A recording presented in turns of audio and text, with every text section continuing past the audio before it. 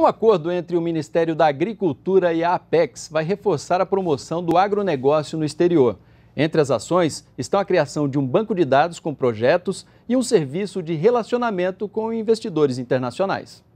Ampliar as vendas de produtos brasileiros com a consolidação de países compradores no exterior e abrir novos mercados. Isto por meio de estudos do aumento de técnicos em ações de inteligência e de encontros com grupos empresariais aqui no Brasil. O acordo prevê também a criação de um banco de dados, um guia de investimentos e um canal de relacionamento direto com grupos econômicos internacionais. Os investimentos previstos para os próximos dois anos são de 12 milhões de reais.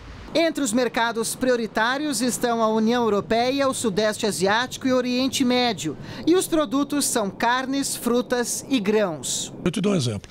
Nós tivemos uma missão há três, quatro meses atrás na Rússia, onde, devido ao embargo da Europa em cima da Rússia, eles têm um interesse enorme em comprar produtos lácteos brasileiros.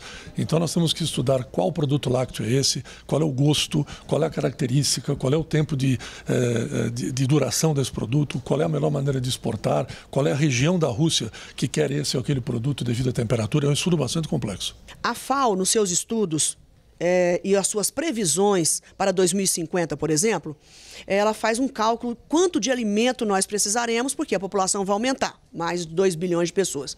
E aí a FAO faz uma simulação dos países. Quais são os países que estão aptos e conseguem produzir esse alimento. E o Brasil está em primeiro lugar. A FAO espera do Brasil um aumento de mais de 40% para abastecer o mundo em 2050.